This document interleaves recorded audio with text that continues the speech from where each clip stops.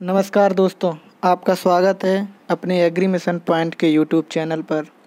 तो दोस्तों, जो रैनपैड एंड ड्राईलैंड का एग्ज़ाम हो चुका है बीएससी एग्रीकल्चर फिफ्थ सेमेस्टर वालों का, और उसकी ये आंसर की है, आप लोग अपने क्वेश्चंस और उनके आंसर मिला लीजिए, कितने सही और कितने गलत हैं। और मिलाने के बाद वीडियो के अंत में कमेंट बॉक्स में ज़रूर बताना कि आपका स्कोर है वो कितना रहा। तो चलिए चलते हैं क्वेश्चंस और उनके आंसर की ओर। तो यहाँ पहला क्वेश्चन है आपका, न्यूनतम भूपरिष्करण की अवधारणा की शुरुआत हुई थी। ए ऑप्शन है आपका यूके में बी है भारत में सी यूएसए में डी ऑस्ट्रेलिया में। तो न्यूनतम भूपरिष्क की अवधारणा की शुरुआत वो आपकी यूएसए में हुई थी, इसलिए यहाँ क्वेश्चन वन का आपका आंसर सी सही हो जाएगा।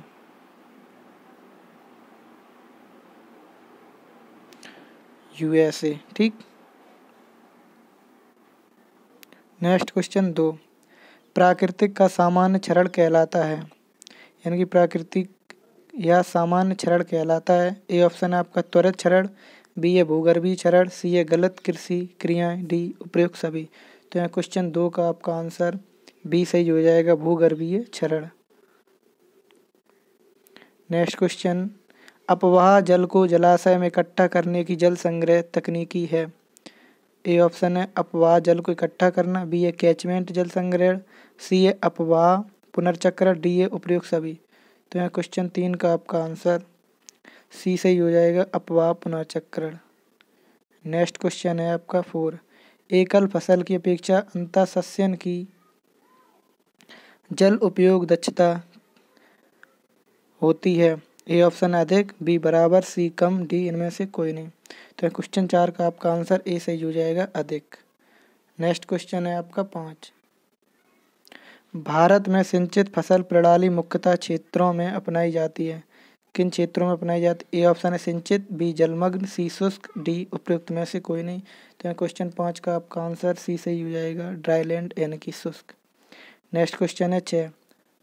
उत्सर्जन नापने के लिए मुख्यतः किस एवापोरोमीटर का प्रयोग किया जाता है। तो यहाँ क्वेश्चन छः का आपका आंसर बी सही हो जाएगा। सनकैन स्क्रीन एवापेरोमीटर नेक्स्ट क्वेश्चन है आपका सात। गली सस्यन का अर्थ है। ए ऑप्शन है आपका। पेड़ों की तेज बढ़ने वाली प्रजातियों के बीच खा, खाली पड़ी भूमि में चारे वाली फ़सलें उगाना और बी है पेड़ों की तेज बढ़ने वाली प्रजातियों के बीच खाली पड़ी भूमि में सस्त फ़सलें उगाना, और डी है पेड़ों की तेज बढ़ने वाली प्रजातियों के बीच खाली पड़ी भूमि में केवल कम अवधि फ़सलें उगाना, और डी इनमें से कोई नहीं। तो हाँ क्वेश्चन सात का आपका आंसर बी सही हो जाएगा। पेड़ों की तेज बढ़ने वाली प्रजातियों के बीच खाली पड़ी भूमि में सस्त फ़सलें उगाना। नेक्स्ट क्वेश्चन है आठ। भारत में प्रथम ड्राईलैंड रिसर्च स्टेशन की स्थापना उन्नीस में हुई थी। कहाँ पर हुई थी? बीजापुर में या सोलापुर में या मंजरी में या रायचूर में तो यहाँ क्वेश्चन आठ का आपका आंसर सी सही होएगा मंजरी में। क्वेश्चन नौ है हवा की गति मापने में किस यंत्र का प्रयोग किया जाता है? तो हवा की गति मापने में आपका एनोमीटर का प्रयोग किया जाता है। नेक्स्ट क्वेश्चन है, दस, जल समेट है। तो यहाँ जल समेट आपका एक जियो हाइड्रोलॉजिकल लॉजिकल यूनिट है, इसलिए क्वेश्चन दस का आंसर बी सही हो जाएगा। नेक्स्ट क्वेश्चन है, ग्यारह। फ़सल बुआई वाले क्षेत्रों में लाइसीमीटर से किसकी मात्रा मापते हैं? तो यहाँ क्वेश्चन ग्यारह का आपका आंसर हो जाएगा सी एक्चुअल यानी कि वास्तविक ईटी क्वेश्चन ग्यारह का आंसर सी सही है। नेक्स्ट क्वेश्चन है बारह। संचयी पेन वाष्पीकरण के द्वारा ज़ीरो पॉइंट फाइव अनुपात एवं पाँच सेंटीमीटर गहराई में सिंचाई आवश्यक है। तो यहाँ इस क्वेश्चन का आंसर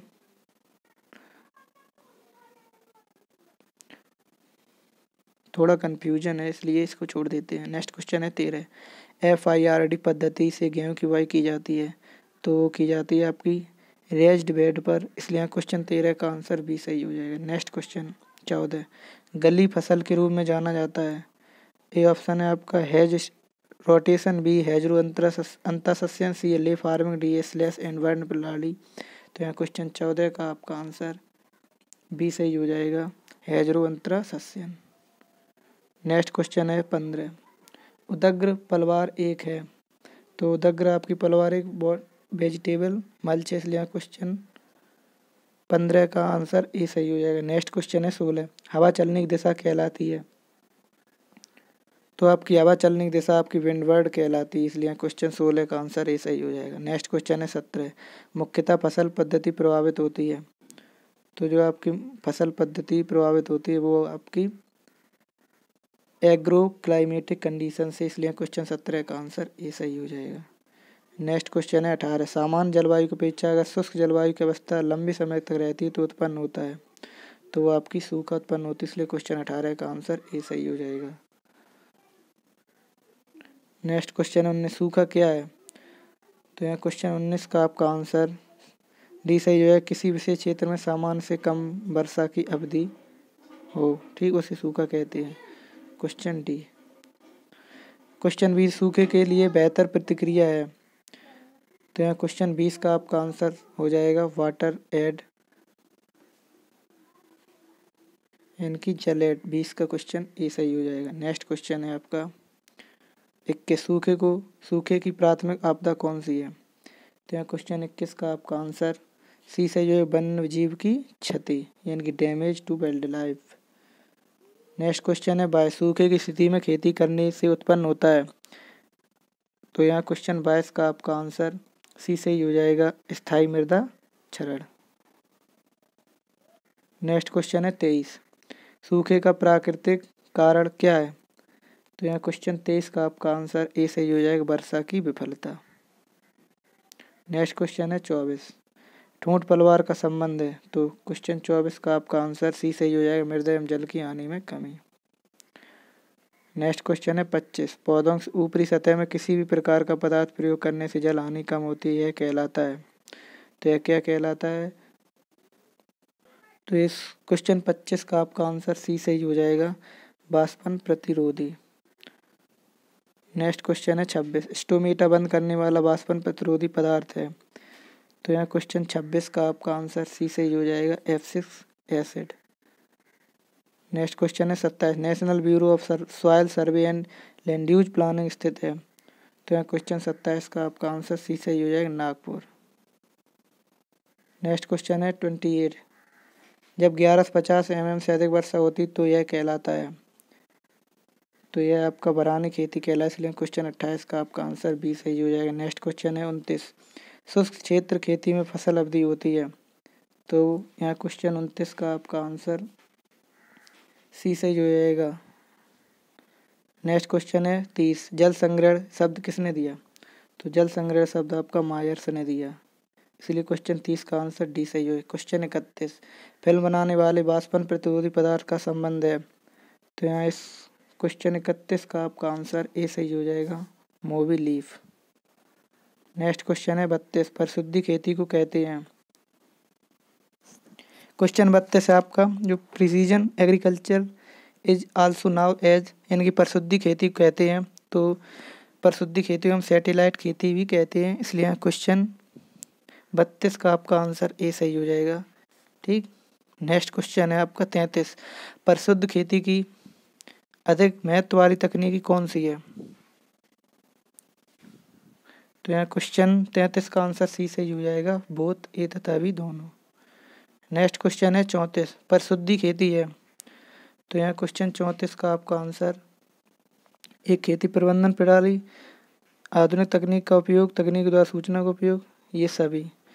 क्वेश्चन चौंतीस का आंसर डी सही हो जाएगा। नेक्स्ट क्वेश्चन है परशुद्धि कृषि प्रसिद्ध है।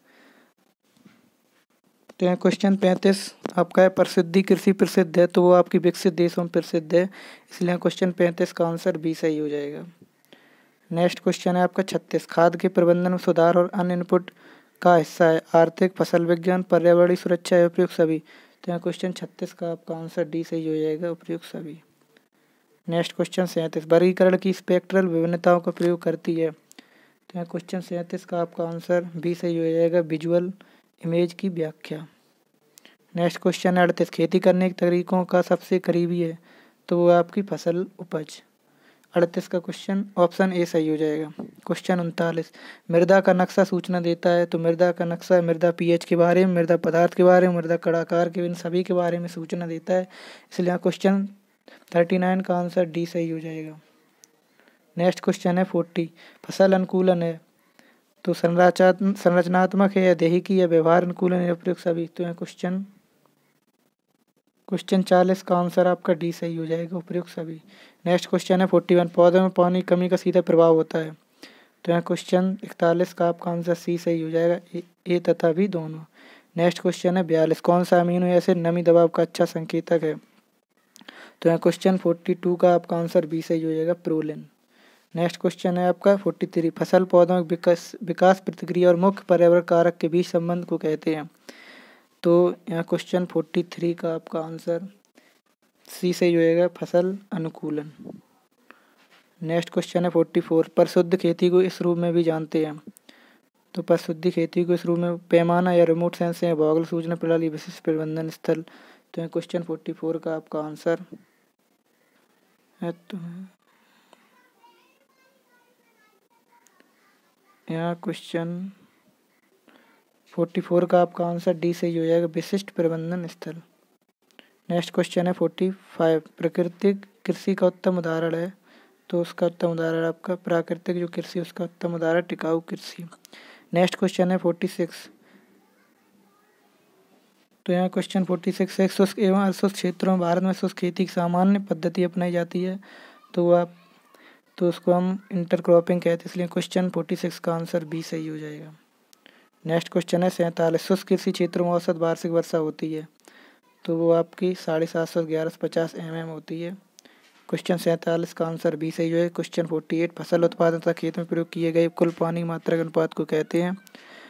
तो हम उसके क्या कहते हैं? क्वेश्चन फोर्टी एट का आपका आंसर ए सही है वाटर यूज़ इफिशियंसी यानी कि जल उपयोग दक्षता। नेक्स्ट क्वेश्चन उनचास। मृदा के अंदर पानी के प्रवेश को कहते हैं। तो क्वेश्चन फोर्टी नाइन का आपका आंसर सी सही हो जाएगा अंत सेंदन नेक्स्ट क्वेश्चन है आपका फिफ्टी इक्री सेट स्थापित है। तो इक्री सेट स्थापित हुआ था मतलब कब उसकी स्थापना हुई? तो आपकी नाइनटीन सेवेंटी टू ये पढ़ाया भी था मैंने। नेक्स्ट क्वेश्चन है फिफ्टी वन जल समेत तकनीक का प्रयोग किया जाता है। क्वेश्चन फिफ्टी वन का आपका आंसर बी सही हो जाएगा। बरानी क्षेत्रों में। नेक्स्ट क्वेश्चन है, इन सी टू जल संग्रहण कहलाता है तो वो आपका अपवाह पुनर्चक्रण कहलाता है। नेक्स्ट क्वेश्चन कंटूर में अनुबंधी उपयोग ढाल होती है तो वो आपकी छः परसेंट होती है। क्वेश्चन फोर्टी फोर शून्य जुताई पद्धति में भूमि की ऊपरी परत है तो वह आपकी अधिक स्थूल घनत्व वाली, इसलिए question forty sorry fifty four का आंसर सी सही हो जाएगा। नेक्स्ट क्वेश्चन है, पचपन ई टी दर को निर्धारित करने वाला सबसे मुख्य कारक है तो वह आपकी जलवायु की दशा इसलिए क्वेश्चन पचपन का आंसर सी सही हो जाएगा। नेक्स्ट क्वेश्चन है छप्पन। क्षरण नियंत्रण की आंतरिक विधि कौन सी है? तो क्षरण नियंत्रण की आपकी तो यहाँ इस क्वेश्चन का आपका आंसर डी सही हो जाएगा। उपयुक्त सभी। नेक्स्ट क्वेश्चन है सत्तावन। Central Research Institute for Dryland Agriculture स्थिति स्थित है। यानी कि क्रीड़ा वो कहाँ स्थित है? वो है आपका हैदराबाद में। ये भी पढ़ाया था। ठीक। नेक्स्ट क्वेश्चन है आपका, पट्टीदार खेती का कौन सा रूप है? तो ये सभी पट्टीदार खेती के ही रूप है, इसलिए क्वेश्चन फिफ्टी एट का आंसर डी सही होएगा क्वेश्चन उनसठ मिट्टी की पपड़ी से कम होता है। तो सॉरी इसका थोड़ा कन्फ्यूज़न है। नेक्स्ट क्वेश्चन देखते हैं कि निम्नलिखित में ऐसे किसमें डब्ल्यू यू ई अधिक होती है? तो क्वेश्चन साठ का आपका आंसर डी सही होएगा रागी। ठीक।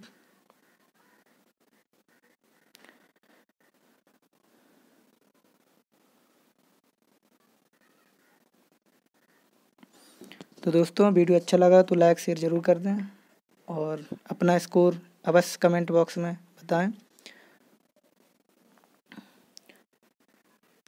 और कल जो एग्ज़ाम है आपका, क्रॉप इम्प्रूवमेंट फ़र्स्ट का, उसकी तैयारी करते रहें।